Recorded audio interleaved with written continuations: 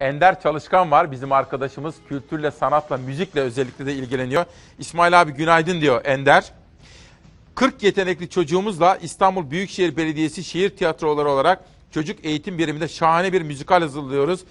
25 Nisan'da premieri var ve ziyaretine gelip bilgi vereceğiz diyor. Ender kardeşimi de bekliyorum.